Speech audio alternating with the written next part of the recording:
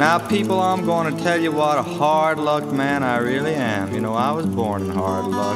I was born in the last month in the year, in the last week in the month, in the last day in the week, in the last hour in the day, in the last minute in the hour, in the last second in the minute. And to tell you the truth now, I like not gotten here at all. I'm hard luck old. What is it about John? He's this amazing fellow who's done all this photography and his art, and he's such an accomplished man. And I knew of him first as a musician.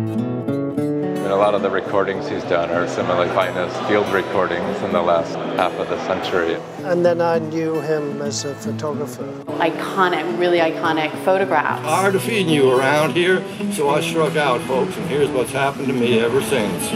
You know, I've been balled out and balled up, held down and held up, bulldozed and blackjack, walked on and cheated, red crossed and green crossed and double crossed. He sees things above and beyond the medium in which he is working.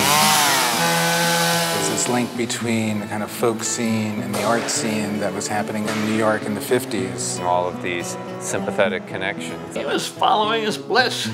I've worked like heck and I've been worked like heck. I've been drunk and got others drunk, lost all And over the years, I keep coming across his name. we can go through for an hour about all of the things that John has done. And then it makes a click in my brain, yeah, saying, uh, is that the same guy? Fussed and discussed and boycotted and talked to and talked about and lied to and lied about and held up and hung up and doggone nigh murdered. And the only reason I'm sticking around now, folks, is to see just what in the heck is going to happen next.